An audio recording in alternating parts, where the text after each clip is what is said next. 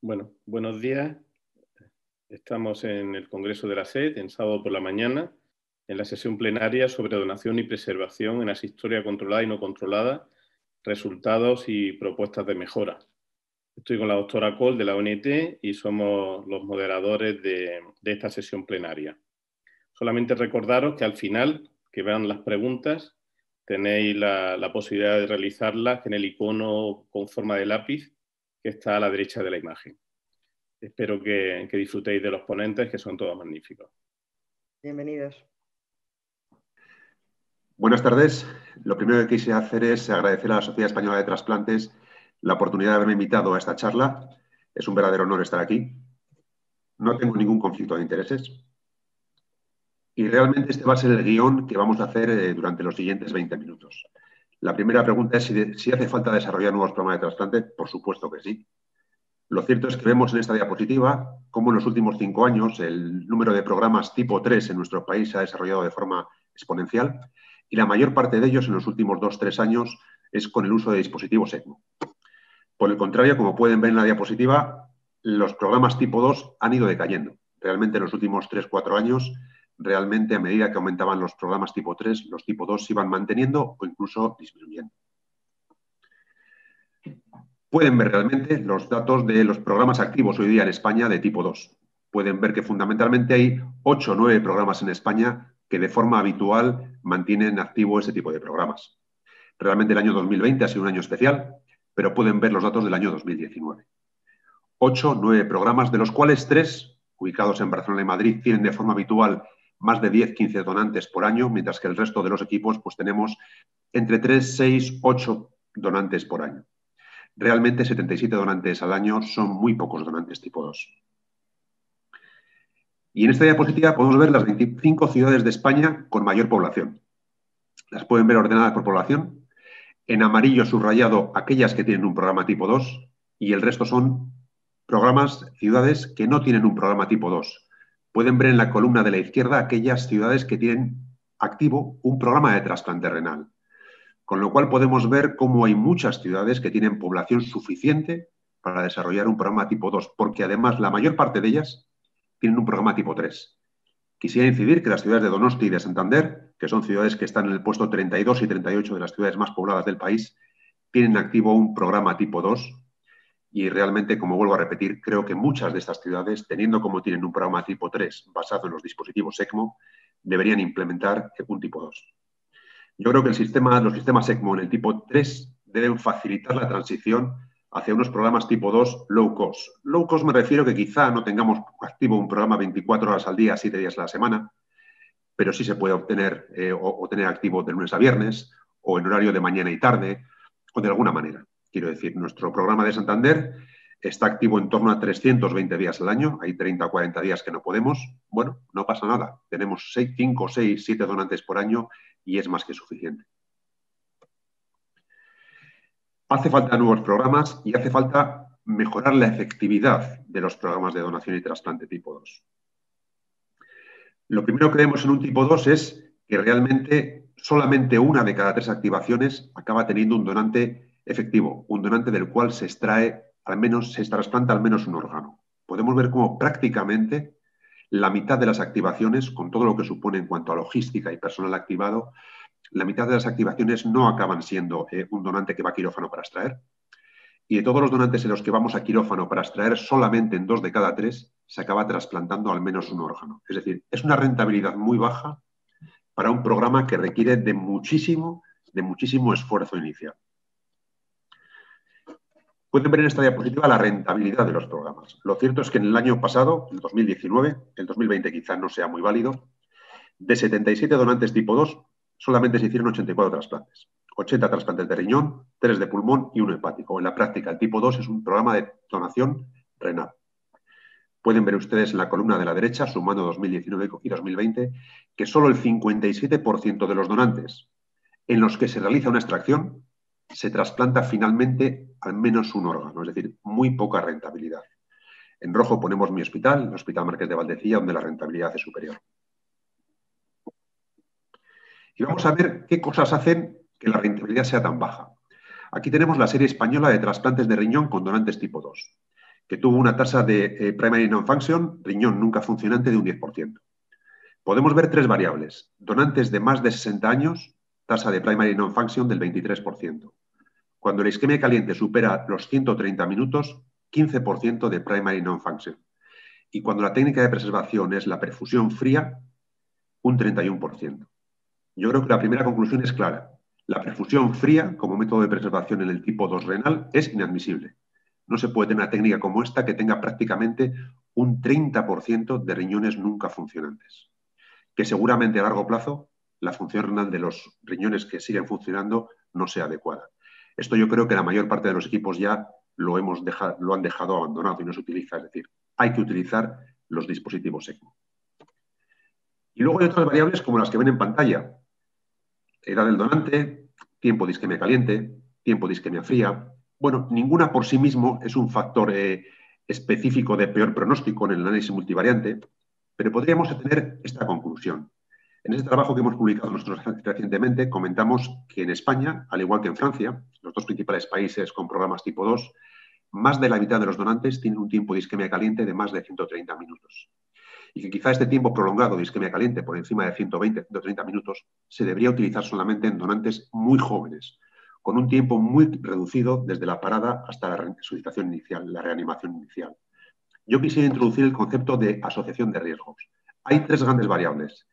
Tiempo de parada pura, desde que el paciente se para hasta que se inicia la reanimación, tenemos un límite de 15 minutos.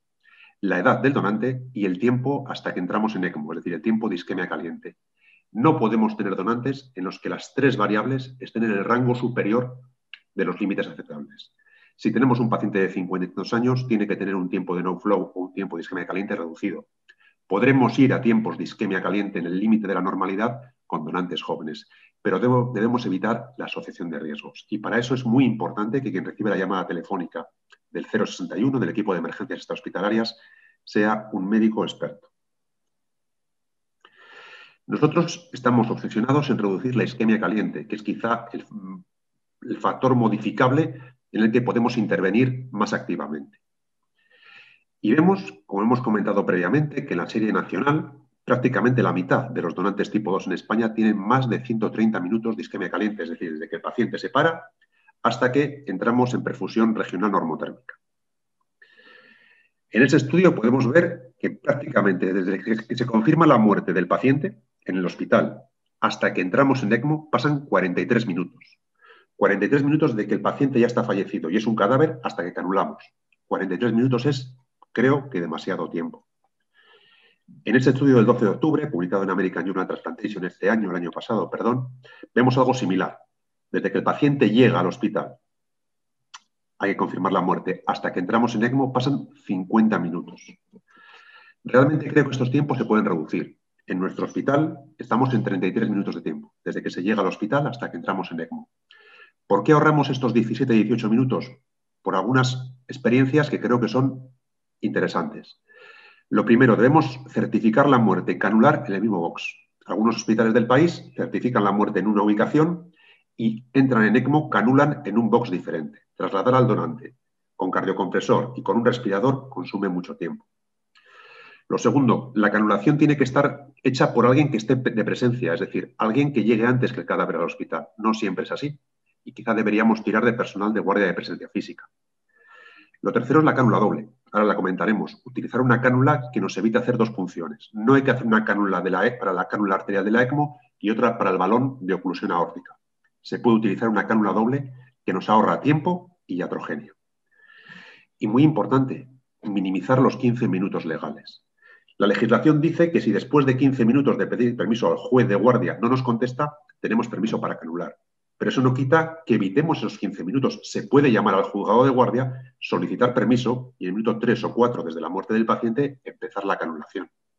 Nosotros en nuestro hospital, con más de 26 donantes, jamás hemos consumido esos 15 minutos. Si hay un buen acercamiento a los juzgados de guardia, se explica el procedimiento, quizá podemos evitar retrasar siempre estos 15 minutos de solicitud judicial. Y vuelvo a repetir, si canulamos en el sitio donde certificamos la muerte, en esos 15 minutos, en esa espera hasta el permiso judicial, podemos ir preparando el campo quirúrgico, podemos ir pintando y poniendo los paños, aunque no podemos empezar todavía a canular. La cánula doble, nosotros utilizamos esta, una cánula de Edwards, donde realmente por la cánula arterial va el flujo de la ECMO y por aquí introducimos el balón. Esto ahorra muchísimo tiempo.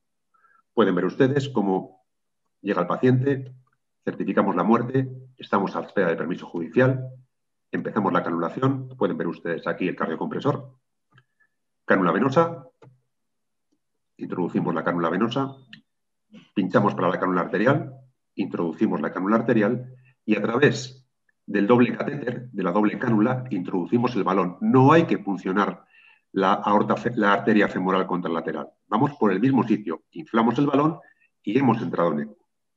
Posteriormente, ya comprobaremos la colocación del balón, que evidentemente es mucho más sencilla porque la hemos introducido a través de una cánula arterial previamente colocada.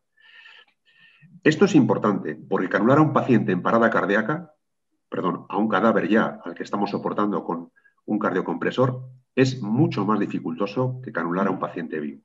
Y realmente ahorramos tiempo, que es muy importante. Estos son nuestros datos. Como les voy a decir, tenemos un programa low cost. Prácticamente cubrimos al año unos 310, 320 días.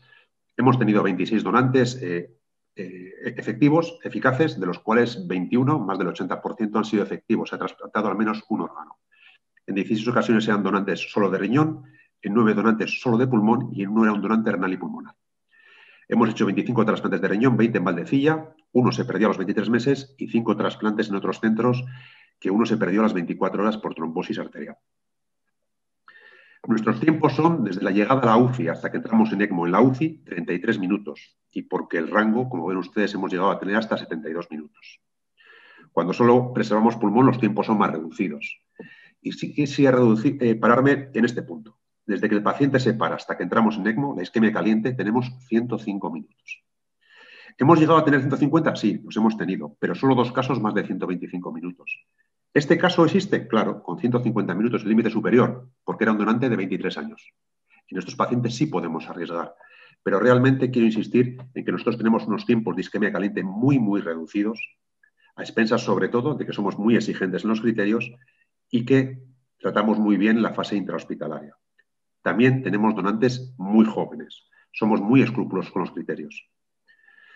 Bueno, nuestros resultados en el tema de riñón eh, en un estudio hecho recientemente, donde solamente analizamos los riñones obtenidos en nuestro centro y trasplantados en nuestro centro, pues teníamos una supervivencia de injerto renal del 100% al año y del 92% a los 5 años.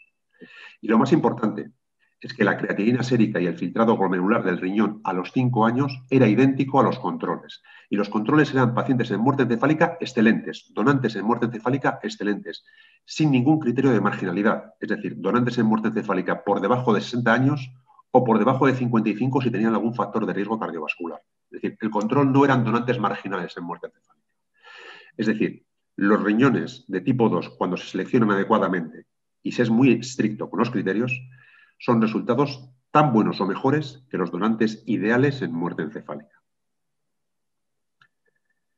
Yo creo que uno de los aspectos a mejorar también es la mejora logística en el intercambio de órganos. Yo creo que el sistema de distribución de órganos en España no puede ser igual que el de la muerte encefálica o el tipo 3. La distribución de riñones eh, vía UNT debe agilizarse y ofertarse fundamentalmente a centros o equipos expertos. Es decir, es un tipo de oferta diferente. Yo creo que es imprescindible la conexión telefónica urgente entre el centro donante y receptor para ofertas no renales. Es decir, yo creo que todavía la gente no tiene claro lo que es la isquemia caliente funcional en el pulmón o en el hígado. Es decir, hay que juntar al centro que dona y al centro que extrae y tienen que hablar entre ellos. Es decir, es fundamental. Para las ofertas no renales, que apenas existen, injertos hepáticos y pulmonares, siempre. Y para la renal creo que también. Y la oferta tiene que tener una logística diferente. Se debe hacer muy pronto, tras la preservación, incluso sin tener todavía el HLA. Suponemos que eso luego va a ser correcto en el futuro, pero solamente una vez que entramos en ECMO se debe empezar a hacer el planteamiento de la oferta, porque estos riñones deben tener una isquemia fría reducida, por debajo de las, de las 15 horas. Entonces yo creo que hay que cambiar y dar una vuelta al reparto de injertos renales de tipo 2. Del, hígado no voy a decir nada, es un programa que prácticamente no existe. Está reducido a dos o tres centros que a nivel local hacen trasplante hepático con el tipo 2. Pero esto es un ejemplo eh, que nos ha pasado muchas veces. En nuestro centro, en el año 2019, es decir, recientemente, donante muy joven, que al de un minuto de la parada se empiece a reanimar, que entramos en ECMO en 100 minutos, es decir, un donante con poca isquemia caliente, un donante con un tiempo de no flow desde parada hasta reanimación de un solo minuto, 32 años completamente sano, y vemos que ese hígado, que nuestro centro lo puede extraer, que tenemos programa de trasplante hepático, nuestro equipo no lo trasplanta, no hacemos trasplante tipo 2 hepático y ningún centro del país quiere este hígado. Y me gustaría terminar ya con el pulmón. En el pulmón sucede lo mismo. Yo creo que el pulmón tiene una gran potencialidad en el tipo 2. El grupo de Puerta de Hierro, con pulmones obtenidos en el Hospital San Carlos de Madrid, ya demostró hace años que se obtenía una supervivencia a cinco años muy relevante, del 51%. En aquellos años era una supervivencia muy buena.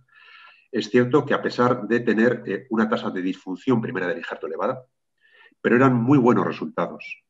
Nuestro centro en Valdecilla, con criterios mucho más estrictos que ellos, pues teníamos resultados muy buenos. En una serie de ocho trasplantes de pulmón con donantes tipo 2, obteníamos una supervivencia a los cinco años del 87%.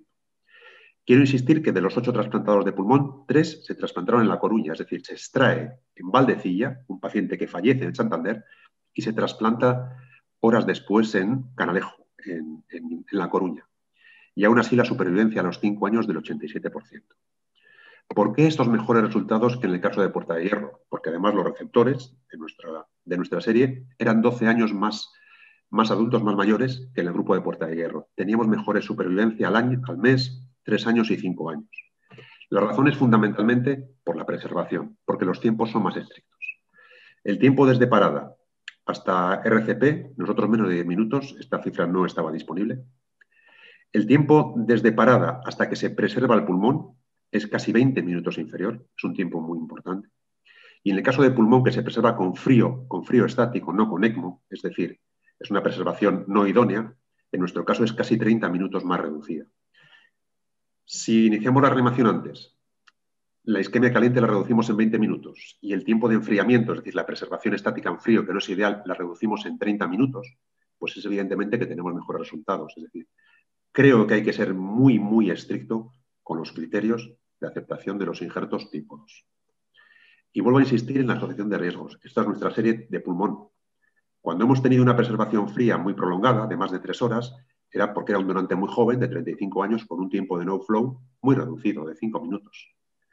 Cuando nos hemos ido a tiempos de no flow elevados, de 16 minutos, pues era porque era un donante muy, muy joven, que hemos, tiene una isquemia caliente de menos de dos horas. Es decir, vuelvo a insistir, evitamos la asociación de riesgos. El tiempo de no flow, la edad y el tiempo hasta el enfriamiento no pueden estar las tres factores en el límite alto de la normalidad. Y con esto obtenemos resultados excelentes y quiero insistir, de los ocho trasplantes, en siete de ellos no se utilizó ningún tipo de máquinas vivo y aún así los resultados son excelentes. La máquina vivo da mucho margen para la mejora. En el tipo 2, este pulmón nunca podría ser trasplantado. Son los pulmones muy edematizados de un donante muy joven, de 31 años, de acuerdo que después de mejorarlos en el vivo se pueden trasplantar. Así que yo para terminar diría que un programa tipo 2 eh, requiere de coordinadores muy convencidos y de coordinadores muy expertos que rápidamente, con la información que les da el equipo de emergencias, pueden hacerse una idea si se activa o no se activa el programa, que es una fuente muy importante de recursos a gastar.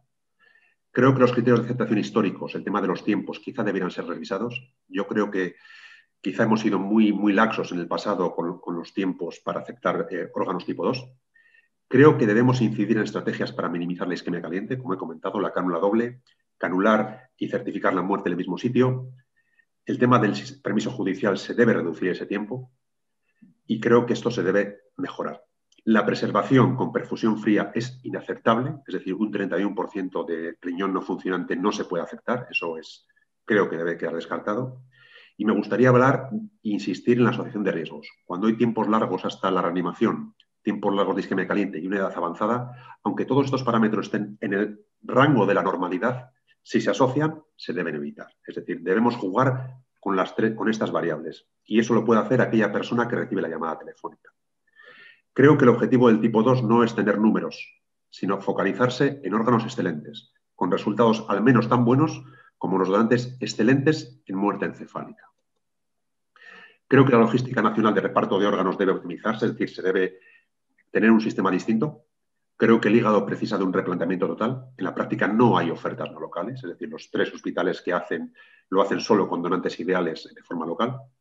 Creo que las máquinas Exitus son una gran ventaja en ese tipo de donación y nos pueden permitir ir más allá con los injertos hepáticos y pulmonares.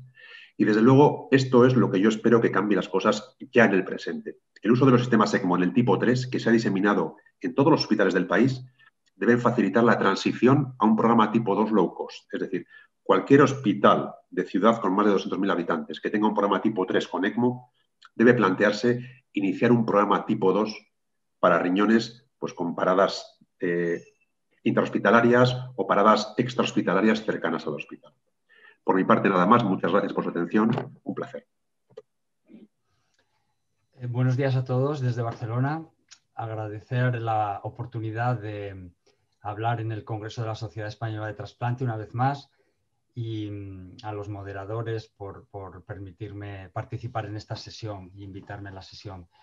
Em, ¿Cuáles son los límites del trasplante hepático en la donación en asistolia controlada? Ese es el tema del cual voy a hablar hoy y veremos un poco los avances que se han producido en los últimos años, en los últimos dos años con respecto a, presentaciones previas que se hicieron en, este congreso eh, relacionadas con el trasplante hepático del donante en asistolia. Como ya ha comentado el anterior ponente, Eduardo Miñambres, eh, hay distintas, distintos tipos de, de, donantes en asistolia. Yo me basaré en la categoría 3, que ya se, definió en este es fruto de un consenso que de la Sociedad Europea de Trasplante en París en el 2013, fue publicado un poquito después, pero son aquellos donantes en los cuales se eh, produce una interrupción del soporte ventilatorio y por tanto se denominan eh, donantes en asistolia controlados la categoría 3, que es una cosa que todos ya pues, sabemos muy bien. El riesgo de realizar trasplante hepático con este tipo de donantes fundamentalmente es la colangiopatía isquémica, que aquí podemos ver cómo es, una, es un problema en la vía biliar debido a distintos factores, fundamentalmente la isquemia caliente, que determinan que al mes y a los tres meses del trasplante se produzcan estas estenosis que pueden ser localizadas o no localizadas, difusas en todo el árbol biliar intrahepático de muy difícil control y que por tanto determinan un problema clínico muy importante y muchas veces la necesidad de un retrasplante.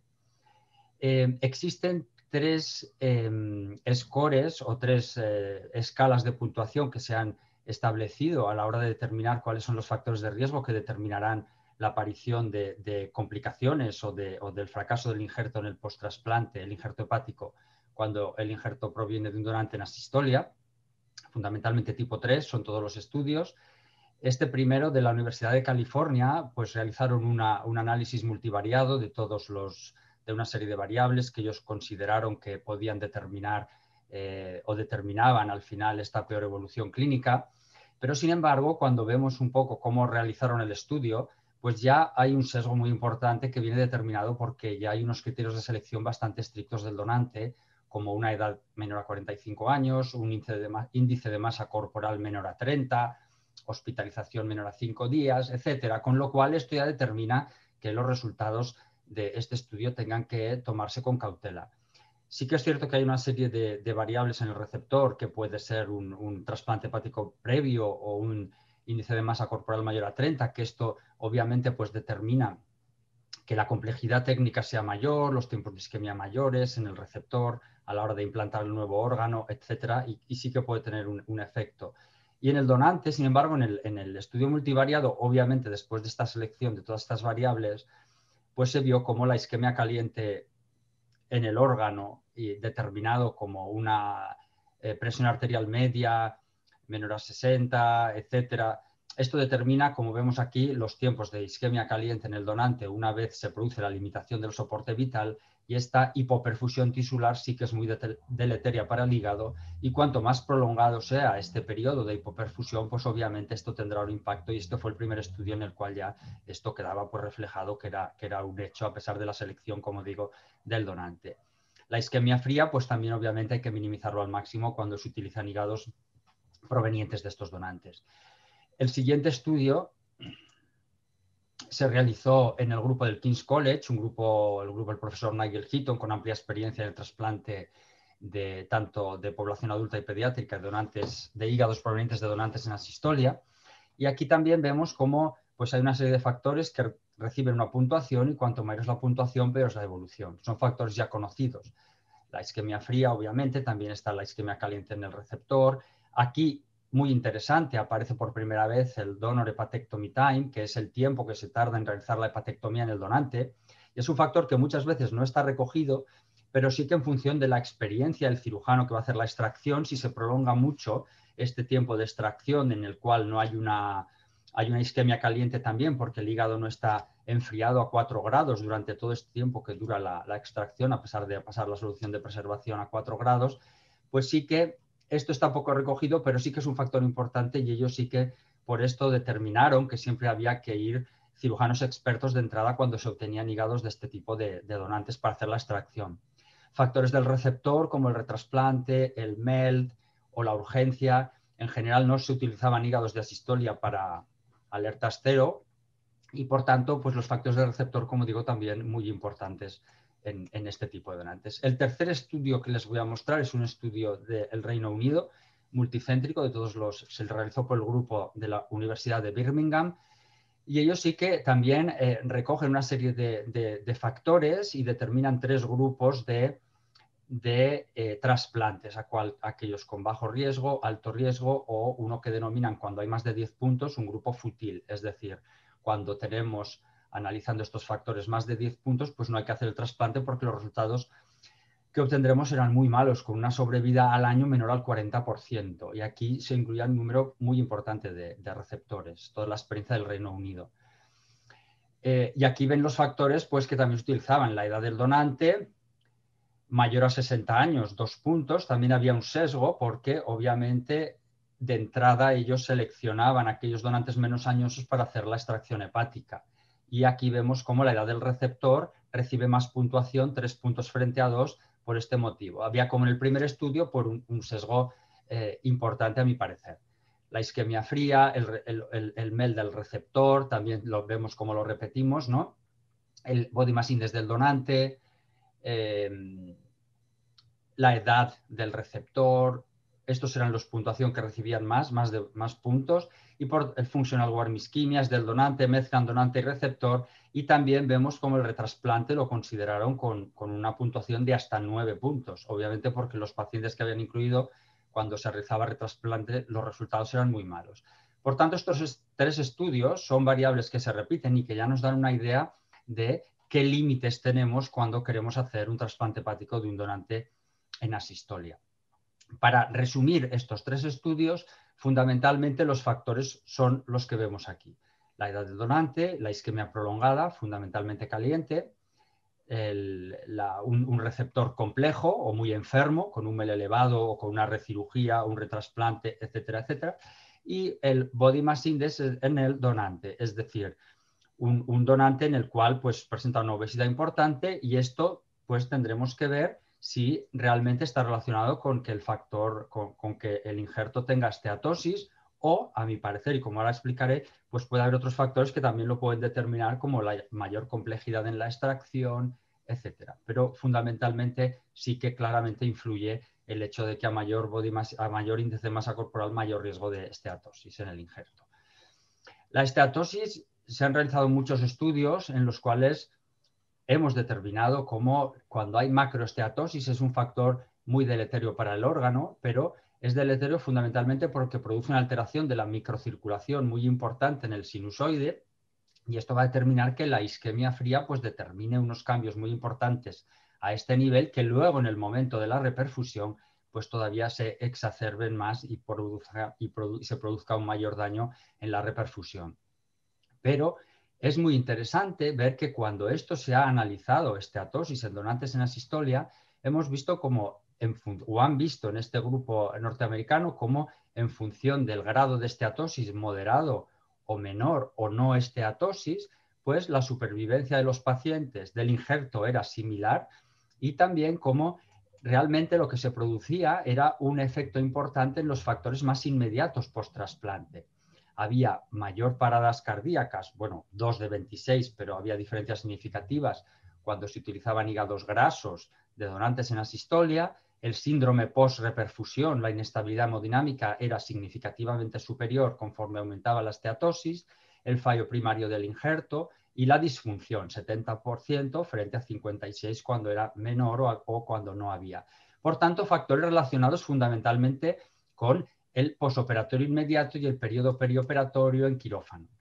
¿Y por qué es esto? Porque la grasa fundamentalmente afecta al hepatocito y a las células endoteliales, como les comentaba, pero el plexo peribiliar no está tan afectado por la grasa, que sí que está más determinado por el hecho de que sea un, injerto que ha sufrido una gran isquemia caliente funcional y hay alteraciones por esta isquemia eh, en el colangiocito directamente que produce la alteración. Pero como ven aquí, la ischemic cholangiopathy, la colangiopatía isquémica, a pesar de que había grasa, las tasas eran no diferentes a cuando había menor esteatosis o cuando no había esteatosis. Por tanto, la esteatosis tiene un mecanismo lesional, el injerto en asistolia, que es diferente al mecanismo lesional que produce la colangiopatía isquémica, que es el, problema fundamental. Por tanto, desde mi punto de vista, cuando tenemos un donante en asistolia, si es esteatosis, de entrada decir que no, yo creo que no, a día de hoy no tiene ningún sentido, sobre todo por el razonamiento que les he expuesto en esta diapositiva. ¿Qué pasa con la edad? Pues la edad, como digo, está mal valorada porque ha habido un sesgo muy importante de selección. Aquí ven las experiencias más importantes del mundo de trasplante eh, de hepático en donante en asistolia y ven como las edades son muy bajas y solo hay algunos grupos en Estados Unidos, la Mayo Clinic en Birmingham, que han incrementado un poco la edad del donante hasta 56 años, 67 años y han visto que con esto sí que hay cierto impacto en las complicaciones biliares y en la colangiopatía isquémica, las complicaciones biliares globales y la colangiopatía isquémica. Por tanto, vemos cómo la edad sí que realmente influye en esta posible recuperación de todo este plexo peribiliar, todas estas glándulas peribiliares que son las que al final van a permitir la regeneración de ese epitelio biliar y que no aparezca esta complicación tan temida. En tercer lugar, hablábamos de la isquemia caliente. La isquemia caliente provoca un mecanismo, una cascada de eventos celulares, moleculares, que ya les he hablado en otras ocasiones y que al final llegamos a un punto que se ve aquí en este círculo azul en el cual ya se pierde la, la integridad de las membranas, la activación de unas proteasas intracelulares y este momento es irreversible. Cuando esto aparece ya aparece una necrosis coagulativa y esa célula no se va a poder recuperar. Por tanto, esto es muy importante porque estamos contra reloj y lo que tenemos que hacer es minimizarlo al máximo para no llegar a este periodo de no retorno en la cual es seguro que esa célula, incluido el colangiocito, no se va a poder recuperar. En todo esto que les he explicado, no ha aparecido en la ecuación en ningún momento la recirculación normotérmica. La recirculación normotérmica, que ya todos conocen, diré rápido porque esto ya, ya es una cosa que, que es habitual en nuestro país, pues es un, es, un, modo de preservación dinámico con respecto a la estática tradicional del donante en muerte encefálica, que lo que nos permite es frenar o revertir muchos de los mecanismos tan deleterios que va a provocar esta isquemia caliente en la célula hepática. Eh, mediante la utilización de esta técnica después de la parada cardíaca, esta fotografía también la he mostrado varias ocasiones, es el modelo experimental porcino, pero, pero una imagen eh, vale más que mil palabras, ¿no? Pues vean cómo el injerto hepático y todo el intestino queda justo en 30 minutos después de la parada cardíaca, que es el límite que tenemos en España para, a día de hoy para considerar el injerto hepático como válido para trasplante. Y vemos aquí cómo después justamente solo de 30 minutos de recirculación, pues somos capaces en gran medida de revertir al menos el aspecto macroscópico, que ya es mucho. Y realmente esto se correlaciona porque la isquemia ha sido corta, no hemos llegado al punto de no retorno, con una recarga de la mitocondria, recarga del sustrato energético, debido a la oxigenación en 37 grados, todos los mecanismos citoprotectores se ponen en marcha y transformamos ese periodo de isquemia caliente en un periodo de precondicionamiento isquémico, que también es algo que está muy estudiado y por tanto cuando mantenemos unos límites estrictos y aplicamos esta técnica, pues el hígado llega al momento de la preservación estática en frío en muchas mejores condiciones para aguantar ese periodo de isquemia de 6, 7, 8 horas de isquemia fría, porque ha, habido este recargo y esta, de la mitocondria y esta mejora funcional de la célula hepática.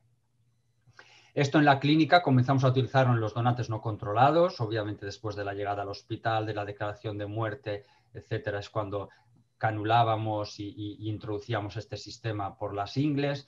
en el donante a partir de, la ley o del Real Decreto del 2012, cuando empezamos a utilizarlo en donantes controlados, en los cuales realizamos la, interrupción del soporte ventilatorio, pues vimos cómo canulando, podemos canular antes incluso en aquellos centros en los cuales o instituciones en las cuales el comité de ética pues permite la canulación premortem o postmortem, pero en definitiva es el mismo mecanismo que nos va a permitir revertir ese daño provocado por la isquemia caliente.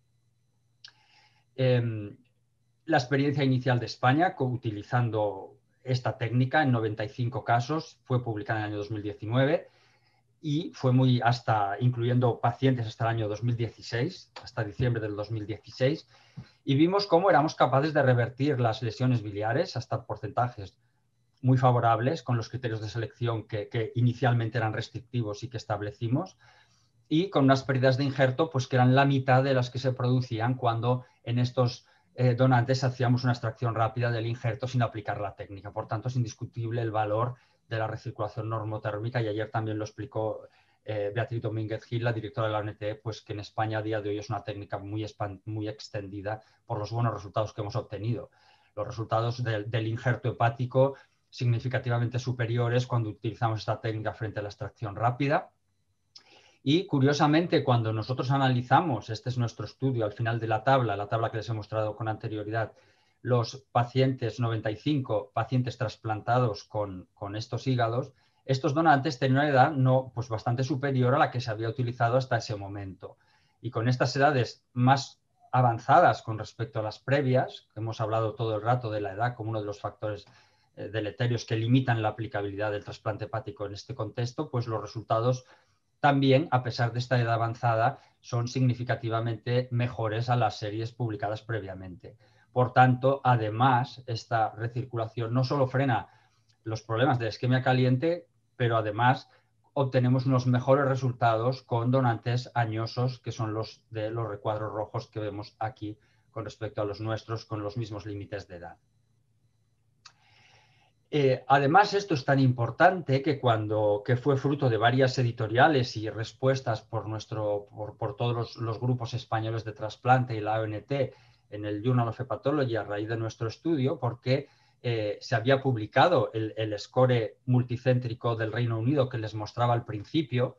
Y cuando nosotros analizamos en nuestra experiencia eh, estas puntuaciones, pues vimos que este score, cuando se aplica recirculación normotérmica pues no sirve para nada, porque estos que ellos denominan futiles, pues obteníamos, a pesar de que los números, insisto, son muy bajos, obteníamos unas sobrevidas muy importantes y los de bajo y alto riesgo pues no había ninguna diferencia. ¿Por qué? Pues porque fundamentalmente nosotros la edad era muy superior y aquí pues a edad de superiores a 60 años ya obtenían dos puntos, el retrasplante que nosotros de entrada al final con la recirculación tampoco lo limitamos, ya era nueve puntos, es decir, ya te pones en el grupo futil, o cuando la edad del receptor era mayor a 60 años, que en España es muy frecuente, tanto la, demografía del donante como la demografía del receptor, pues es mucho más elevada que en otros países. Somos un país que afortunadamente vivimos muchos años y, ya pues muchos de nuestros receptores tenían tres puntos, etcétera. Entonces era fácil alcanzar estos scores de alto riesgo, simplemente mayor a 5, pues y estas variables, tanto el donante como el receptor mezcladas, pues en nuestro contexto no son útiles para nada. Em, finalmente, pues nuestros estudios, el estudio español que vemos aquí, se ha corroborado en otros lugares del mundo, sobre todo en Francia, que ya han publicado la experiencia hasta el 2019 con 132 casos de trasplante hepático con recirculación normotérmica, asistolia tipo 3. Sí que es cierto que aquí podemos ver que la edad, el, perdón, el tiempo de isquemia caliente supera 31 minutos frente a 18 en nuestra serie y por tanto esto sí que puede tener un impacto en las complicaciones biliares, 17%, aunque con la geopatía isquémica 5%, y sobrevida, importante, sobrevida del injerto al año 93 frente a 94, a pesar de este incremento de la isquemia caliente funcional. Por tanto, esto nos va a permitir en España probablemente expandir esto. Para finalizar, eh, ¿qué, mensajes les diría yo de todo esto? Primero, eh, en España hubo la Sociedad Española de Trasplante Hepático, organizó una conferencia de consenso en la cual ya se hablaba de qué receptores debían ser trasplantados y, en nuestra opinión, puesto que los resultados son tan buenos, debemos considerar todos los receptores. Todos los receptores se pueden considerar, puesto que con los criterios actuales tan restrictivos, los resultados no diferirían con respecto a un donante en muerte encefálica. Y en segundo lugar, en cuanto a los criterios de la isquemia caliente y, de, y qué criterios debemos aplicar, pues en definitiva lo que nosotros pensamos es que cuando la recirculación normotérmica se aplica, el tiempo de isquemia funcional es menor a 30 minutos, eh, pues siempre se puede, o se podría considerar un tiempo de isquemia caliente, perdón, superior a 30 minutos, aunque esto lo tenemos que estudiar y lo tenemos que organizar y tenemos que ver qué pasa, siempre que las, eh, los niveles de transaminasas durante la recirculación se mantuvieran en criterios normales. Por tanto, nos va a permitir expandir esto y por otro lado, no tenemos un tiempo de una edad límite que nos determine de entrada descartar el, donante. Nosotros ahora vamos a un donante de 75 años, estamos haciendo la extracción en el hospital de Canruti, un donante de 75 años de asistolia, por tanto, y tenemos una experiencia bastante adecuada.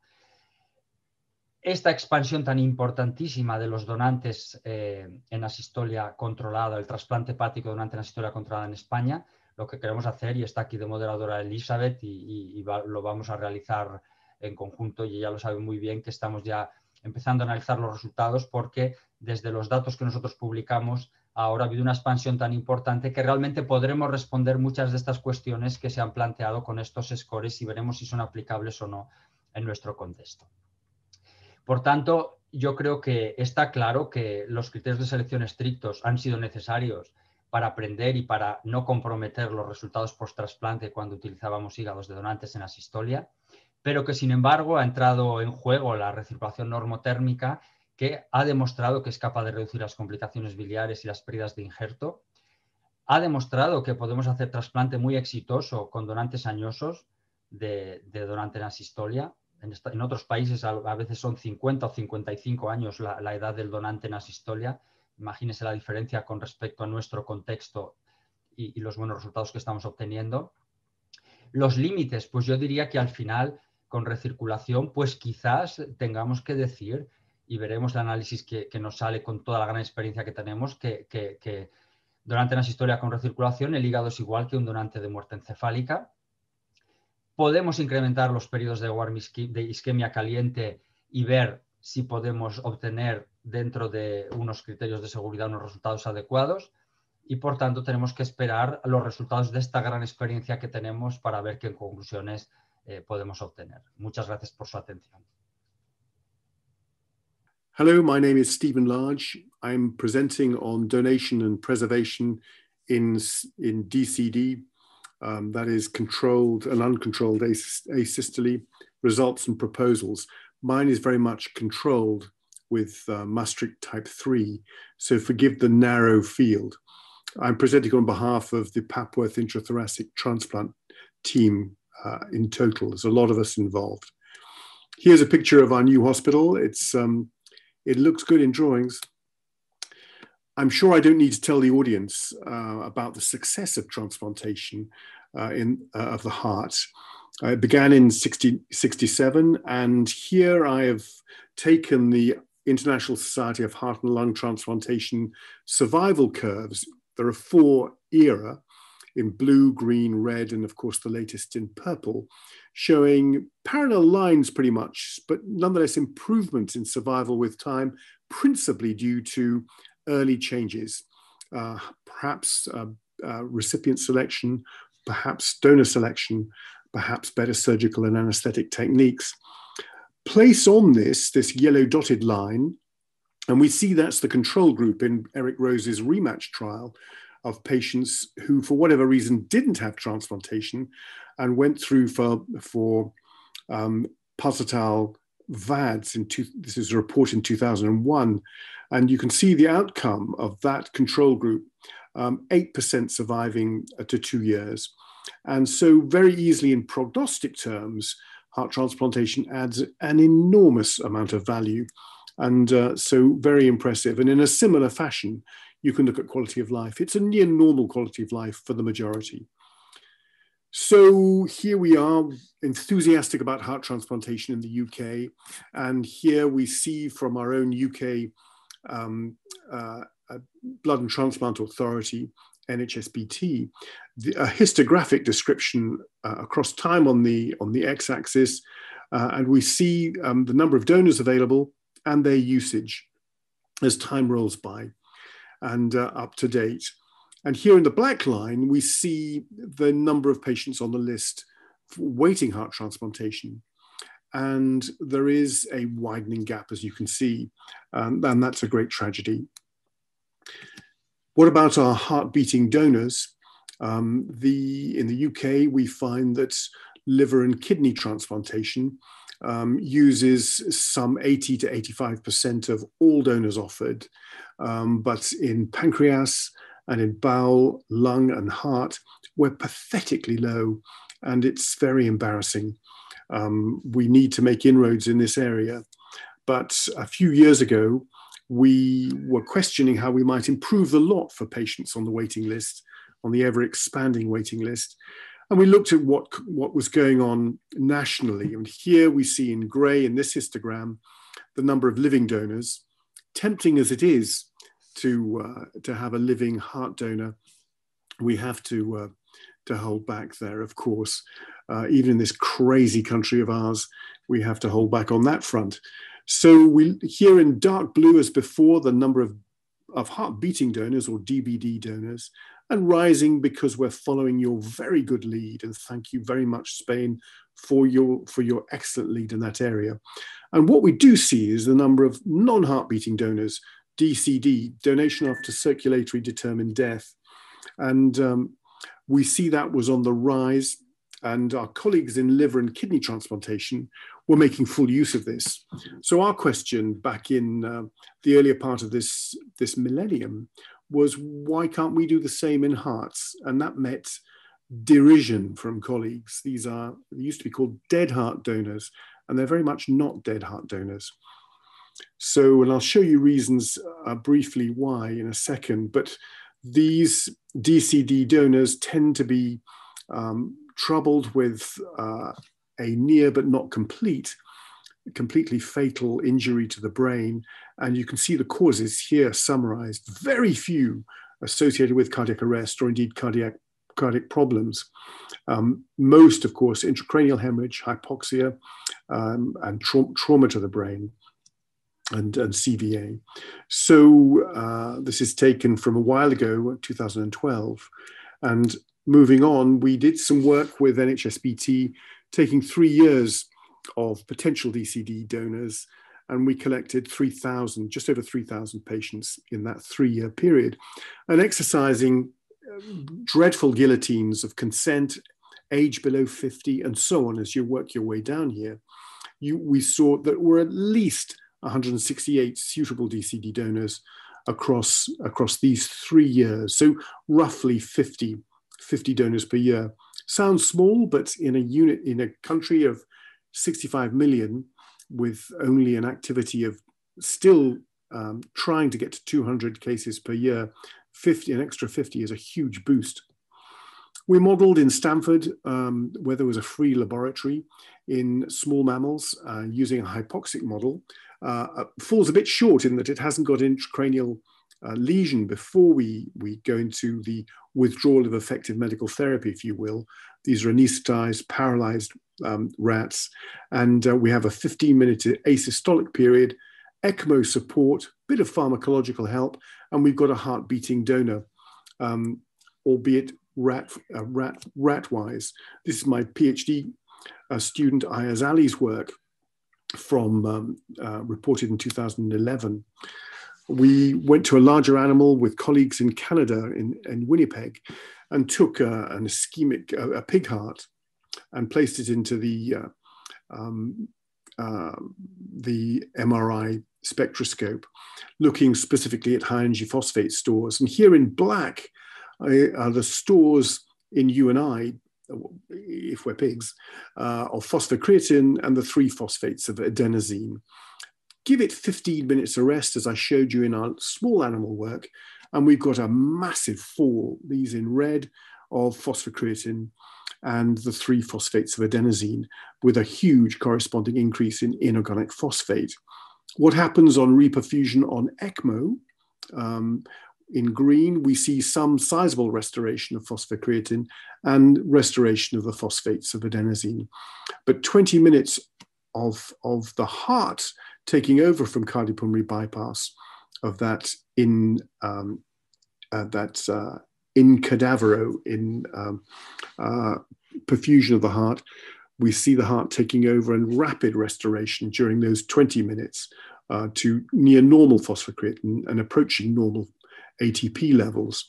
So 80 minutes, um, a lot longer than I'd been, I'd been led to believe, but nonetheless, restoration is possible. Ganot, one of my heroes working in the early 70s, uh, looked uh, at rats to see what happens with global ischemia, so very different to regional ischemia in the heart, as you can't rely on collaterals. And here um, it's using histology as a descriptor of, uh, of irrecoverability. Uh, he, only, he only described changes that were irrecoverable uh, onsetting at 30 minutes of normothermic ischemia. But what he did say, the whole show was over, the percentage damage cells here on the y-axis by 55 minutes. So we've got a short window of, uh, if we're lucky, 30 minutes, probably less, uh, but the whole event is over by 55 minutes of, of lack of perfusion with current, current conditions. We were trying to produce a clinical program, um, and back here in 2006, an extraordinary family heard what we were doing and said they would very much like us to um, demonstrate the feasibility of our proposals in a DCD donor for liver and kidneys. Here on the top panel is the pressure volume loop uh, of the right ventricle and of the left ventricle in you and me. These are actually in patients who are going forward for triple, triple coronary bypass grafting with ostensibly normal ventricles. Here is our 53 year old woman who had suffered a sublethal um, uh, intracranial hemorrhage. And uh, she was deemed to be uh, in a therapeutically um, uh, irrecoverable state, and treatment was withdrawn at the request of her relatives and the intensivists. And here uh, we resuscitated the heart, and with with um, uh, with um, conductance catheters within the left and right ventricles, we showed a bizarre right ventricular set of loops, normalizing with a catecholamine challenge, and an enlarged, rather voluminous left ventricle, normalizing also with catecholamines, and some impression of an improvement in the end um, pressure, uh, pressure volume um, relationship, suggesting improvement in contractility. This we reported three years later. Um, we, we, uh, we were a little cautious here, um, trying to sort out the ethics of all of this. So, does such an approach appear to be troubled by catecholamine storm that we recognize from uh, we recognize in the the time of death, uh, uh, or at least coning of um, the heart beating donors that we know so very well. And we assumed there was no coning, therefore there'd be no catecholamine storm, and we couldn't have been more wrong. It appears that the catecholamine storm is is some five to 10 times greater looking at adrenaline and noradrenaline like substances, um, but it's short lived. And here in DCD, we see a, a rather incompetent pulmonary and systemic circulation. So the probable secondary damage as a result of an inotropic drive against an increased resistance probably doesn't occur, or at least that's what we hoped. Uh, is there a troponin I release? Yes, here's controlled troponin I, brainstem death, DCD at 15, 15 minutes of anoxia, um, similar sort of magnitude as brainstem death. And after 30 minutes, an understandably greater release of troponin I. So damage is done without any issue. Um, but asking the question, is this possible? Well, the first successful human transplant by Marius and, and Christian Barnard on the 3rd of December 1967 used exactly uh, a DCD donor, um, a young girl who was a victim of a road traffic accident, and um, her heart was seen to stop. and uh, her heart was reanimated on bypass by Marius Bernard and, uh, and uh, seen to be good and carried through to the next door operating room to his brother, where uh, his Christian was operating on um, Louis Wachensky, the man here, and he did extraordinarily well. His contribution was to realize the whole, the whole proposal of human heart transplantation, but, but uh, died of uh, professional ignorance. Uh, we were not up to speed with the impact of infection versus rejection. It was assumed his deteriorating condition was one of rejection. So his immune suppression increased, as you all know, and he died of a, a lethal uh, pneumonia 80, after 18 days. So our next step was uh, to appeal to our Academy of the Medical Royal Colleges here in, in London, in, in the UK. And we were lucky to be led by Professor Sir Peter Simpson, um, a supporting um, academic uh, intensivist. And the conclusion of his work was this code of practice for the diagnosis and confirmation of death, available through their website at the Academy of the Royal Colleges. But three stipulations were made. There will be a five minute standby from the point of loss of pulse uh, to confirmation of death by neurological, through neurological means. And um, the third issue was that there should be no restoration of cerebral perfusion um, of course, during that standby time or indeed after that standby time. So we constructed a method of, uh, of resuscitation, and this is the timeline we put forward. Withdrawal of support, of life supporting support, the futile therapy. Um, and when, when the blood pressure systolic reached 50 millimeters of mercury, a, a, gift from the liver transplant colleagues, we declared the onset of functional warm ischemia. This, of course, in a diastolic perfused organ, would be truly when the systolic systemic uh, blood pressure was the same as the CVP, and it probably is.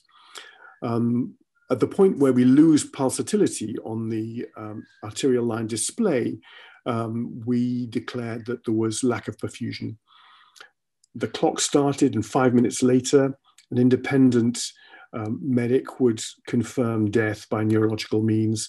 And then we were left with how to manage this arrested, uh, unperfused, uh, very ischemic organ. And that's where uh, the interest lies. and we approached this by resuscitating the heart uh, in one way, uh, following um, the, the, the colleagues in Sydney who placed the heart onto the OCS machine, uh, primed with uh, heart donor blood. And here it is regaining sinus rhythm as it does so very quickly. Yeah. And uh, we, um, we challenged that by resuscitating the heart in the donor, clamping off the neck vessels, and so the cerebral perfusion. And here we see the point at which the heart takes over the, the circulation of the thoracoabdominal area. And we can, uh, we can see the parameters there. The heart's then taken after cold arrest, placed onto the OCS as, as by direct procurement. And we've got ourselves an assessed heart for trans- perfused transportation and the beginning of a transplant program, we hope. So, what of our results? Well, to date, 31st of October, in this bizarre time of COVID, we'd undertaken 85 DCD heart transplants, having started on the 1st of March 2015. 62 of these 85 were by direct procurement and 23 by NRP, um, normothermic regional perfusion. Um, 20 of them with extra uh, ex situ heart perfusion and three by cold storage. And for us, transportation, as the Barnard brothers did to the neighboring theatre, with co-located recipient and donor. Uh, but in Belgium already, and indeed in Spain, there's been, I believe, distant procurement and transport by cold storage. Uh, in summary, our outcomes are very much those of traditional brainstem death, and it's increased our own activity at Papworth by 50% and has kept our program uh, reasonably on track The recipients are, are um, nothing extraordinary. We were very cautious to begin with, looking at patients with low transpulmonary pressure gradients, but the, seeing the results uh, to be so good, we liberalized that. And our donors uh, are familiar, perhaps outstanding only in that they're a little younger, that they're male dominance, and the cause of death a little different to heart beating donors, made up essentially of uh, hypoxic brain injury, traumatic brain injury, and ischemic uh, uh, cerebral hypoxia. Here, a Kaplan-Meier curve of DCD versus DBD heart transplantation across the last 65 months, with uh, with a um, blue uh, representing DCD and red representing DBD. The numbers are small, so we must be cautious in translating this, but it does seem to be encouraging. Post-transplant outcomes, comparing DCD to DBD, uh, mechanical circulatory support need, very much the same for both groups. Initial cardiac performance, for what that's worth, much the same. And the inotrope requirements in an attempt to get equivalent scores, much the same. Post-transplant outcomes in terms of length of stay uh, for patients, for recipients of DCD or DBD hearts, seems to be much the same. Hospital stay, transplant uh, uh, graft rejection, and as I say, heart function um, at eject with ejection fractions on the left and TAPSE and and uh, RVS VEL um, and they're in um, for right ventricular function. So encouraging stuff. So what about comparing our relatively small numbers of direct procurement? I think our numbers are much the same as Spain now, and you've got a, a, a very impressive practice of normothermic regional perfusion, and I have to confess to being envious. Here we look at, um, uh, in mechanical circulatory support, um, much the same uh, outcomes for direct procurement, uh, our 62 direct procured hearts versus the 20 normothermic regional per perfused hearts. And um, the cardiac performance, for what it's worth, much the same, and attempts to balance the, the uh, inotropic uh, uh, support um, to justify the measurements much the same. Length of stay gets a little interesting. And here we see that direct procurement versus normothermic regional perfusion takes a bit longer in ICU, a bit longer in hospital. There is a trend, these are trends, they're not significant. Um, numbers are very small, and treated rejection trending to be uh, a lot less in the NRP, not significantly so. And uh, interestingly, the TAPSE seems to be a little different in the uh, slightly worse in the NRPs. But um, what we do see is, um, as I've said before, uh, in the year 2019 to 2020, um, the, the, the financial year, finishing on the 31st of March, that 50% of our practice in Papworth was, was DCD work. So exciting stuff. So where does that get us? Well, uh, activity is, um, is uh, summarized here for our, our six centers in the United Kingdom. And we're lucky to be the busiest and probably therefore have the most rattle room for, for such developments. And uh, five year survivals looking good and uh, risk adjusted looking better for us, but not too bad across the board. So DCD future directions, well, it will be lovely to CT and or MRI scan potential donors in the future because direct procurement involves an incredibly expensive uh, Transmedics machine at 52,000 pounds, uh, some, some 50, whatever it is, 50, 53,000 euros um, for a run. And if you find that there's malignancy or whatever, or um, problems with the heart, uh, it's, it's, a, it's a costly business. So, can we exclude malignancy? We've had two so far in this series where we've had to exclude the donor because of um, discovered malignancy, in both cases within the abdomen. And um, we are we are we need to look at a comprehensive pro provision of pediatric DCD hearts for our very poorly supplied pediatric program here in the UK. Um, organ assessment is a, a, thorny issue, and we're told by transmedics, uh, if we're using the transmedics, that we have to follow ser ser serial lactates. And here, with uh, the required cardiac arrest, of course, lactates can be very high indeed. Five millimoles is the, the, the, the suggested level from pretty light work, actually. Um, but the general trend was downwards. But we've learned this is our first 13 uh, cases, initially uh, within on TNRP within the donor, and then uh, on ex situ machine perfusion. And we found serial lactates to be pretty unhelpful in telling us about uh, uh, transplantability, successful transplantability of the donor organ. And we're about to publish on that. We've developed our own machine out of frustration through cost and, of course, um, assessment of the donor organ. And this we call the, the multiple organ perfuser uh, for no reasons, of course, than my wife being called Morgan and so here it's a small machine. These are the batteries. Here's the reservoir. It's a continuous flow pump, unlike the Transmedics, which is pulsatile. We've got an oxygenator and it's a smaller volume. It's non-working mode to try and keep it compact, light, and uh, relatively uh, more attractive in terms of the volume of perfusate.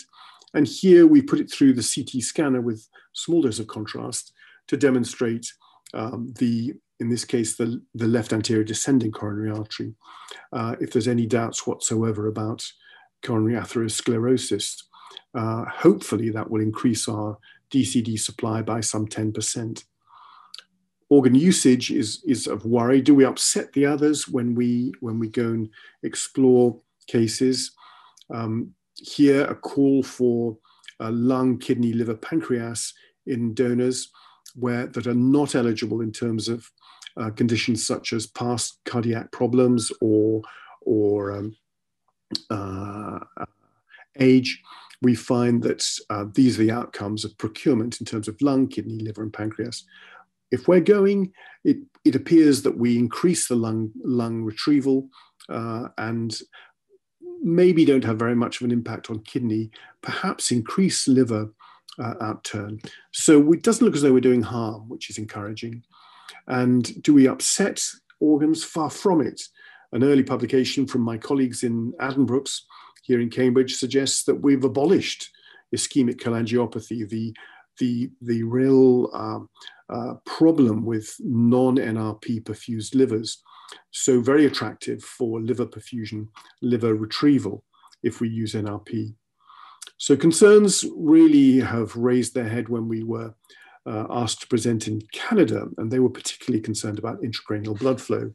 The suggestion here was that there would be an opportunity for intracranial blood flow despite us disconnecting the innominate artery, the left common carotid, and the left, left subclavian through a tortuous um, chest wall or paravertebral blood supply.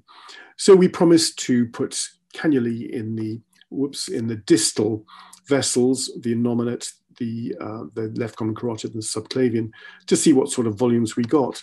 And we did this for three cases and found that the first case had no blood supply, no, no retrievable blood from the other end that separated from the, the normothermic regional perfusion. The second one, uh, we had 50 cc's a minute, and the third one, a huge man, uh, 200 cc's a minute. So the solution that everybody is now satisfied with, both in the UK and in Canada, is to put drains in here. It was notably low pressure, and uh, these drains just pour back into the reservoir. And um, the blood's retrieved and can, can be used for the normothermic regional perfusion. So that seems to have satisfied um, all, all concerned. So it looks like NRP offers the earliest replenishment of, uh, uh, of energy stores, a chance to assess cardiac function after death, a chance to review the, the heart in terms of coronary disease, um, and a chance to uh, ex exclude malignancy in the donor uh, during normothermic regional perfusion as best we can. And we believe that we're getting about one and a half donors per million head of population, which translates to an increased activity of 50%, which is enormously attractive for us.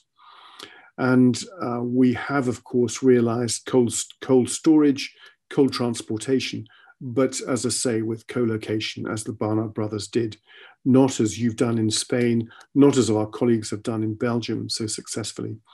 We've modeled this in pigs, and it looks as though we're saved two hours of cold storage at least.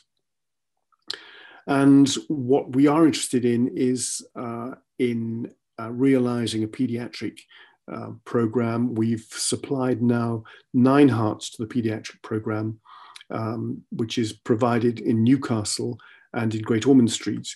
And they're very grateful for this uh, boost in their activity. And this, we hope, uh, with the Morgan, will be able to uh, make greater use of. So um, the the thing that I've skipped over rather glibly is, of course, this issue of no deaths within the within the normothermic regional perfusion patients uh, over the five-year period, and we're now left with um, uh, what to make of this dangerous ischemic time for during transportation of DBD hearts. Of course, our hearts are perfused with some issues of water accumulation and so on. But we've got work to do in this area. And it pro it's probably true to say that we've got a greater time uh, for transportation. And so we are left with this cartoon, which is meant to be amusing, but I think this is actually a view of tomorrow's world. And I think that tomorrow is just around the corner. Thanks very much indeed. I hope there are some questions. Bueno, pues han terminado las presentaciones que han sido magníficas. Quiero felicitar a todos los ponentes, han sido muy enriquecedoras, yo he aprendido muchísimo y además tengo también que felicitarles porque se han ajustado al tiempo. Vamos a ir sin más a las preguntas. Entonces, en primer lugar, quería yo transmitir un comentario más que una pregunta que ha hecho el doctor Gavisales, que es del equipo de trasplante pulmonar de la FE de Valencia, y va en relación a la donación a los pulmones en la donación a historia no controlada. Y recuerda, bueno, como ya lo ha explicado el doctor Meñambres, que no es necesario la preservación abdominal normotérmica para la, extracción pulmonar, o sea, es una extracción súper rápida. De hecho, el doctor Miñambres empezó su programa de asistolia no controlada exclusivamente pulmonar, ¿no es así, Eduardo?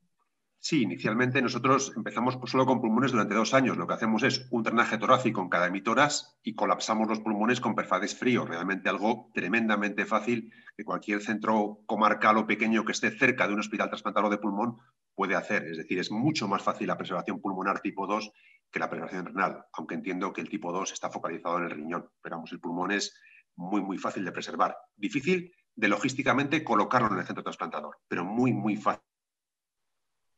Vale, muchas gracias. El, doctor Sales también te felicita por tu ponencia. José Miguel, si quieres hacer más preguntas que nos han llegado. Sí.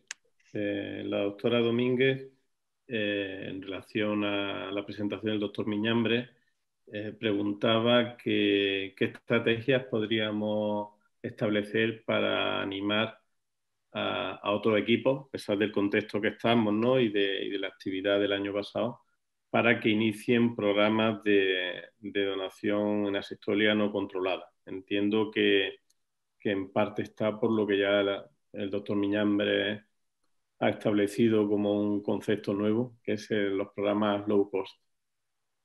Sí, yo, el tema de low cost lo, planteo lo que hacemos en mi hospital. Es decir, siempre hemos pensado que estar 24 horas, 7 días a la semana disponibles hace muy difícil este programa. Pero lo cierto es que la mayor parte de los coordinadores somos intensivistas y podemos cubrir, quizá no todo el año, pero sí quizá 300 días o de lunes a, a viernes.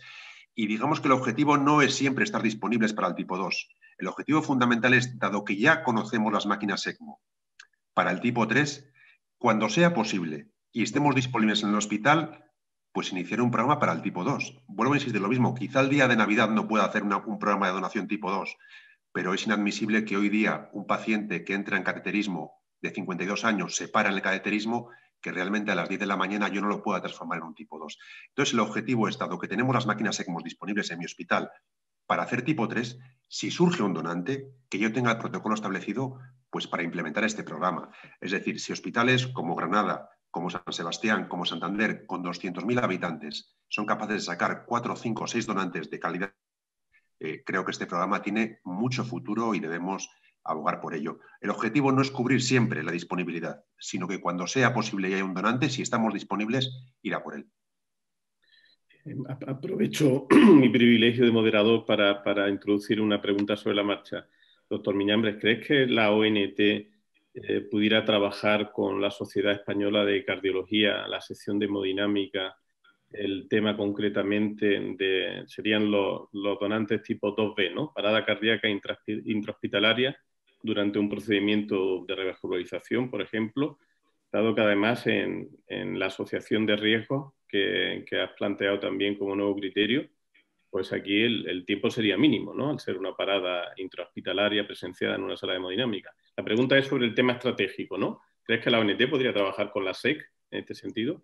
La ONT puede trabajar con la SEC, pero más fácil que todo eso es que el coordinador de trasplantes trabaje con los cardiólogos de su hospital. Quiero decir que evidentemente estoy seguro que la SEC estaría encantada de colaborar, pero quiero decir, lo razonable es que el, coordinador de trasplantes de ese centro hable con los hemodinamistas de su hospital y establezca un protocolo pues de, sentido común. Oye, si se te para en el cateterismo porque tienes una rotura de la descendente anterior, si después de 35 o 40 minutos de parada esto no sale adelante, avísame. Es decir, realmente lo que tenemos que hacer todos los coordinadores, sé que tú lo has sufrido como, programa tipo 2 que tienes, es establecer un circuito en nuestro hospital y en nuestra comunidad. Es decir, la logística es lo más importante en el tipo 2. No es quién canula o cómo se canula. El gran problema es la organización, es lo que realmente nos limita.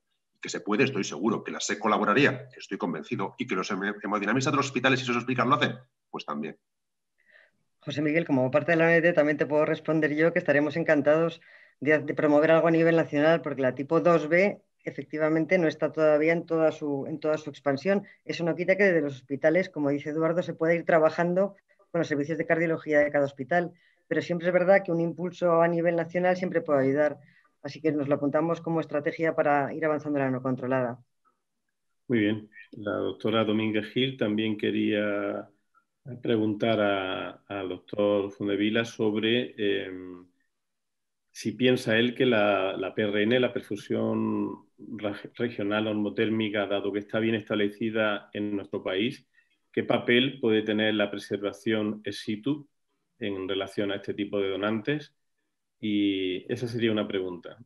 Y eh, añade otra pregunta, que cuál era su opinión acerca de elaborar un, score español para, hígado de donaciones historia controlada contemplando la PRN muchas gracias, Beatriz, por las preguntas. Con respecto a la primera, la de la preservación, bueno, están las dos realmente relacionadas. Empezaré casi por la segunda, porque sí que, bueno, como decía al final de mi presentación, con este incremento tan tremendo que ha habido del trasplante hepático de donaciones historia controlada, creo que es momento, ya estamos en ello, lo planteamos hace un par de años, de hacer un análisis profundo de, de toda la experiencia y ver qué podemos aprender, ¿no? Ver si podemos tener un score y si podemos aplicar un poco algo que sea útil en nuestro contexto, porque los scores que hay a nivel internacional, pues aquí no nos sirven, ¿no?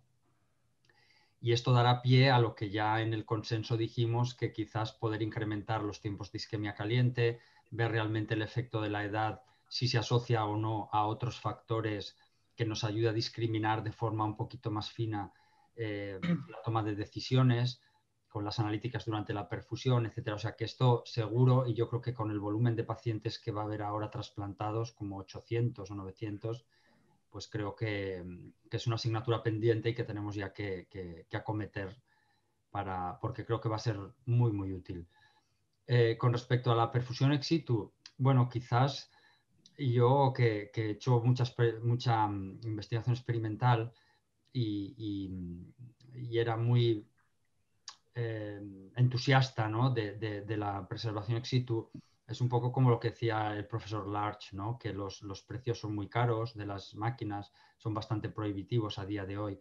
Entonces lo que hay que hacer es un análisis de coste-beneficio real y ver en nuestro contexto qué cantidad de injertos se podrían, en concreto hablando de hígado, injertos hepáticos se podrían beneficiar anualmente de esa estrategia para ver si realmente merece la pena o no yo creo que, no hay que olvidar que la PRN, la perfusión regional normotérmica, es una manera de perfusión en máquina y que es la primera que hay que explorar. Lo que no creo que tiene mucho sentido es empezar por la ex sin haber eh, promocionado o, mm, o, teniendo una actividad adecuada en la preservación in situ porque es la que a día de hoy es la más la que más la que mejores resultados da no combinado las dos pues probablemente. Pero como también yo decía muy bien pues si, si tú tienes un periodo de isquemia muy caliente muy prolongado y hay una lesión isquémica eh, muy dramática en ese órgano a pesar de la perfusión ex situ pues probablemente ese hígado tampoco lo puedas recuperar. Y esto hay que verlo con mucho realismo, ¿no? Que, realmente cuál es el volumen real de hígados que podremos recuperar y ver si, si entonces hay que hacer una estrategia nacional de toda España para, para, implementarlo. No creo que a día de hoy pueda ser un centro único, dada la atomización de centros de trasplante hepático en España y no ha de ser de un centro, sino una cosa global muy bien coordinada. Muchísimas gracias. Muchas gracias. Elizabeth. Sí, mm, a continuación voy a hacer unas preguntas al doctor Larch de, la audiencia y luego pasaré a Eduardo Meñambres, que también tiene otra pregunta del doctor Larch. Thank you very much, Dr. Larch, for being here with us and congratulations for your presentation. I have a question for you from Dr. Beatriz Dominguez Gil, and it's regarding and how do you, sorry, sorry, just a minute. How do you monitor the absence of flow function in the brain during the NRP? You use transcranial Doppler or by IC or ACE, or, or how do you how do you monitor this? No tenemos señal de audio. A ver si el equipo técnico. Yeah, maybe you can chat the, the, the, the answer and I can. Bueno, la doctora Domínguez Gil está preguntando que cómo, cómo monitorizan la ausencia de flujo cerebral durante la, la, la normotermia. Si utilizan el Doppler transcraneal, utilizan el BIS, ¿qué es lo que hacen? Tenemos un problema técnico con el, con el sonido. Eduardo, ¿puedes si acaso ir haciendo también la otra pregunta mientras tanto? Y así cuando arreglen el sonido ya contesta las dos en seguido. Ah, good morning, Stephen. amazing lecture. Uh, we, we, here in Spain, we are in our learning, early learning curve with the DCD heart transplantation. And uh, our initial experiences have been performed with excellent donors, very young donors with very short functional war ischemic time. I'm afraid we are going to face with uh, not as ideal donor as the previous one. So my question is, uh, which are you, your criteria to select uh, cold storage of the heart or the use of TransMedics device? Because at least in my center, uh, the TransMedics device is not available for the hearts. So I, I, would like to know what's your, your opinion to, to choose one or two pathways. Bueno, yo quería mm, hacer un, apuntar un, tema que es cuando hemos hablado tanto Eduardo como Constantino han hablado mucho de, los, de la asociación de riesgos, de tener de, de hacer factores de riesgo, de hacer escalas de riesgo, de hacer índices de riesgo, todo eso. Me gustaría recordar que parte de participar todos en registros nacionales para tener toda esa información. Yo sé que es un tema duro, que todo el tema de la actualización de datos y todo pues a veces es una carga que se hace pesada después de toda la saturación clínica que tiene todo el mundo y más en estos momentos, pero es fundamental, es fundamental que todos participemos juntos, que unamos fuerzas y que intentemos conseguir pues, esos, esos índices, porque muchas veces los, acogemos británicos o americanos y no nos valen, pues porque nuestra epidemiología es diferente, las técnicas que estamos usando aquí son diferentes y también quiero aprovechar para felicitar al doctor Fondevila porque todo el tema de la, de la normotermia se inició en la no controlada gracias a los pioneros en el hígado que empezaron a utilizarla y a raíz de ahí fue cuando el resto del mundo fue aprendiendo de la normotermia. Así que me gustaría, me gustaría dar esas ideas. No sé si, eh, José Miguel, tienes alguna pregunta que hacer a los ponentes. Pues eh, aprovechando la presencia de Tino y y felicitándole una, una, vez más por su exposición, que además la ha tenido que hacer en directo, no en playback como los demás, que los cantantes no tienen miedo a cantar en directo. Eso es un Bueno, no es por miedo, los otros tampoco tienen miedo. que mm, con, con, todo lo que hemos aprendido en los últimos años en relación al, trasplante hepático de donante en asistolia, ¿crees que sigue siendo necesario un tiempo mínimo de, recirculación en ECMO o, a veces puede haber eh, algunos equipos que, es decir, ¿cuánto ganamos de recirculación en base a lo que sabemos y cuánto perdemos de que estamos retrasando la extracción del hígado. No sé si me, si me he explicado, Tino. Sí, sí, sí, sí, totalmente. Bueno, nosotros inicialmente, en base a los estudios que habíamos hecho en experimentación animal, decidimos que como mínimo era media hora. Media hora era lo mínimo para empezar a ver cambios en el, cuando medíamos el ATP mitocondrial. Eh, entre una y dos horas yo creo que es lo razonable. La, una hora sería suficiente en un hígado que ha sufrido una isquemia caliente poco importante, como lo que pasa muchas veces aquí en España. Una isquemia caliente funcional de 10, 12 minutos, 15 minutos como mucho, pues con una hora de recirculación normotérmica es, es, adecuado y los resultados ahí están. Esa es la media de lo que nosotros obtuvimos inicialmente. Sí que es cierto que ahora con esta experiencia de más de, casi mil, mil trasplantes, puede haber más variabilidad y sí que podemos evaluar un poco más qué efecto ha tenido, ¿no? porque sí que hay grupos que han hecho dos horas, grupos que han hecho menos y puede haber cierta variación. Pero yo, yo creo que lo razonable es una hora y lo que siempre recomiendo y nosotros ahora hacemos es cuando se puede canular eh, premortem, percutáneamente o, quirúrgicamente en la ingle, pues una vez iniciada la bomba, pues se puede ir abriendo el abdomen y se pueden empezar a hacer maniobras para luego no retrasar demasiado el tiempo de, extracción de los otros órganos, sobre todo. Eh, la extracción pulmonar es rápida y no influye porque ellos al mismo tiempo abren el tórax, sacan el pulmón y por tanto lo que hay que tener en cuenta es mantener la, eh, hacer una hemostasia adecuada para evitar pérdida de volumen y que la bomba vaya mal y que se pueda pues, malograr la perfusión de todos los órganos abdominales.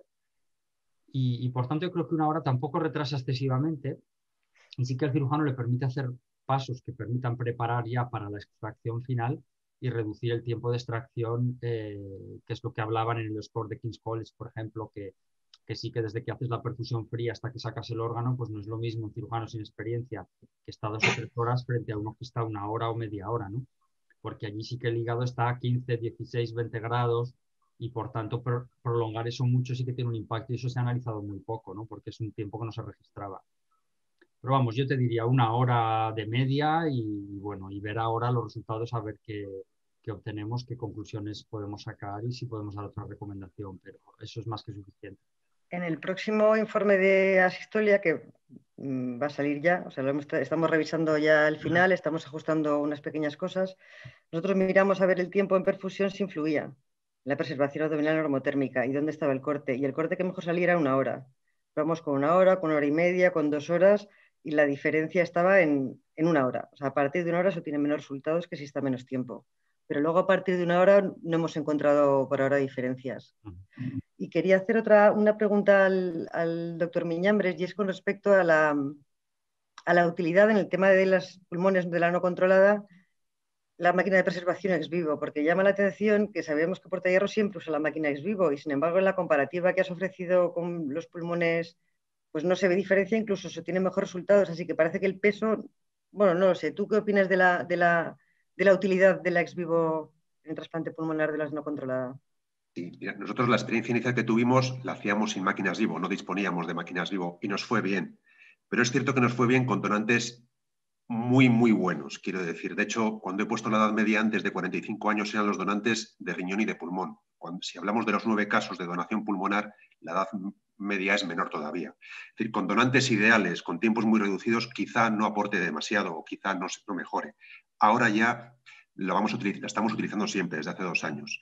Yo creo que es una garantía porque en general el tipo 2 es un tipo de donante que nos da poco tiempo a estudiar. Esa es la realidad. Son donantes en los que tenemos mucha información hospitalaria, pero la parte prehospitalaria no. Yo ahora, desde el año 2018, sí que utilizamos la vivo pulmonar, primero para comprar un poco de tiempo, para minimizar un poco la isquemia fría, y sí que es verdad para poder estudiar un poquito mejor los pulmones. ¿Se puede hacer sin máquina? Sí. Con donantes absolutamente ideales, pero con donantes ya no tan ideales, yo creo que la máquina vivo sí aporta un plus de, mejora. No quizá en cuanto a mejorar muchísimo los resultados, pero sí a tener más seguridad de cara a hacer el trasplante y poder utilizar donantes que se acerquen a la barrera de los 50 años. Ahora sí la utilizamos. Desde el año 2018 en el tipo 2 la utilizamos siempre. A pesar de que si tenéis un donante idóneo como los del principio, aún así también la utilizáis. Sí, tenemos muy poquita casuística, pero desde 2018 sí, la utilizamos siempre. Ok. pues no sé si creo que no hemos solucionado los problemas técnicos, los, los problemas, los nuestros técnicos. Lo siento muchísimo. Sorry, sorry, Dr. Lach, I'm very sorry. You cannot talk with us. Hemos ya llegado al tiempo de cierre y no queremos retrasarlo. José Miguel, ¿quieres añadir algo? Nada, eh, agradecer a todo el esfuerzo que estáis haciendo en vuestros hospitales, peleando contra la COVID en distintos niveles de actuación y aún así manteniendo los programas de donación y trasplante no queda otra, que sigue habiendo pacientes en lista de espera y que hay que seguir trabajando por ello. Bueno, pues lamentamos muchos problemas técnicos. Agradecemos muchísimo vuestra participación. Muchísimas gracias a los ponentes. Thank you very much, Dr. Latch, for your participation. Very sorry these technical problems. Y despido esta, cierro ya esta sesión y espero que os haya resultado fructífera. Yo la he aprovechado muchísimo y despedirme de todos vosotros con un abrazo muy fuerte y espero que la próxima vez nos podamos ver en persona. Hasta luego. Gracias, adiós. Hasta luego.